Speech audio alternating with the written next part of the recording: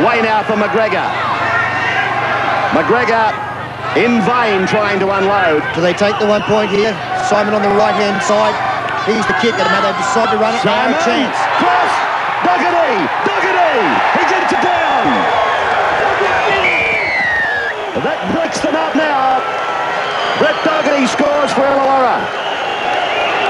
Eight points to four.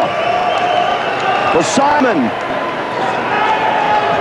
John Simon, they probably half thought about the drop goal. And then they outnumbered Cronulla. And Brett Docherty gets it down for the try.